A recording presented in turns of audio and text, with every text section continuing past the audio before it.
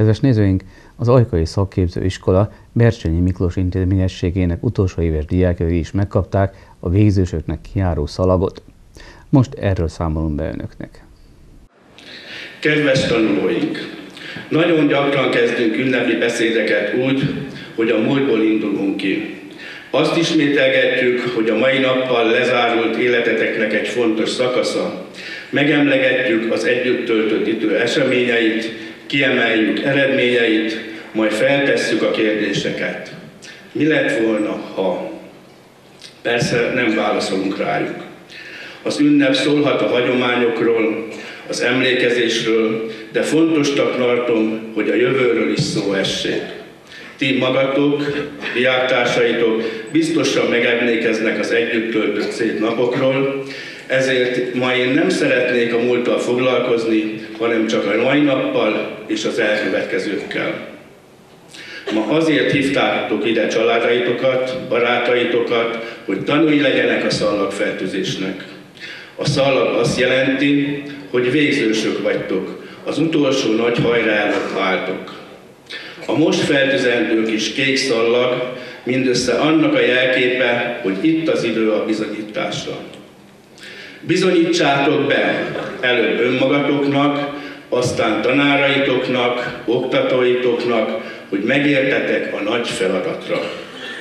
Bizonyítsátok be, hogy eredményes volt az a közös munka, amit ti magatok, a családotok, az iskola és a gyakorlati helyet lehetővé számotokra. Mutassátok meg, hogy nem létezik lehetetlen. Meg tudtok táltosodni, meg lehet komolyodni, az érdektelen és érdeklődővé tud válni. A reménytelen és remélhető, hihető lesz. Mutassátok meg, hogy tudtok kellemes meglepetéseket okozni. Hitessétek el velünk, hogy van bennetek elég akarat és kitartás a vizsgákig hátralévő időre, majd az egész életre. Higgyétek el magatok is, hogy vannak még tartalékaitok, mozgasítható energiátok. Tegyétek egyértelművé, hogy elég elszántság van bennetek a tanulás folytatására, az eredmények elérésére. Ma nehéz jövőt tervezni. Nagyok a kihívások fiataloknak és korosabbaknak egyaránt. De könnyebb lesz annak, akinek van célja, vannak céljai. Ez az értelmes élet mozgatórugója. Mert ha van cél, akkor hozzá lehet rendelni a feladatokat, aki pedig elvégzi, jól végzi a feladatokat, elégedett, sikeres ember lehet. A siker mindenki számára más jelent. Van, akinek siker a kettest hármasra javítani, másnak siker jó munkahelyet találni, megint másnak felvételt nyerni egy másik iskolába.